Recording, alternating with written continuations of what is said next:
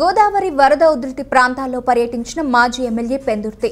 సీతానగరం మండలంలో మాజీ ఎమ్మెల్యే పెందుర్తి వెంకటేష్ గోదావరి వరద ప్రభావిత ప్రాంతాల్లో పర్యటించారు.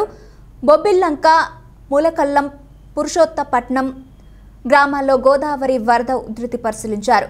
పురుషోత్తపట్నంలో ఏటుగట్టు మరమ్మతు పనులను ఇరిగేషన్ శాఖ ఆధ్వర్యంలో చేస్తున్నారు.